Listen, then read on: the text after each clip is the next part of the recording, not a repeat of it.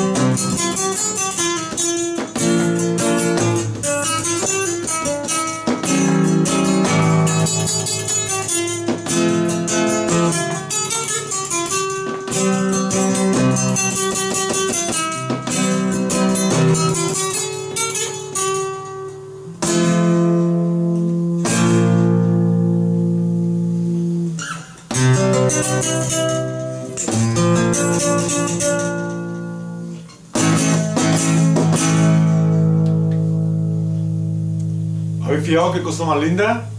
¿Eh? Bueno, pues aquí la tenéis, para que podáis pedírmela o sacarla. ¿Eh? Unir una con la otra y queda precioso. Esta canción se la he dedicado con mucho cariño a mi amigo Paco Medina, un gran guitarrista también de aquí del barrio de Naranjo.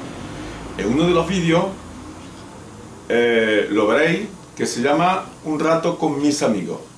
Ponéis eso y luego después Manuel Fernández Crespo y saldrá. Está aquí a mi derecha y un cantante aquí a mi izquierda. Así que, Paco, esto ha sido para ti, con mucho cariño.